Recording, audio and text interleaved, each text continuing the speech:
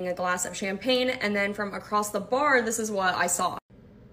So this is my view from across the bar. It's Tom wearing sunglasses and a hat inside with a chevron shirt. And then my friend took this picture of me and Tom actually got up to go to the bar. Here he is in the, the chevron shirt, like I said. And then I got up to go to the restroom and then I actually took this video of him. This is just a screenshot from the video. Here is Tom and said mystery woman.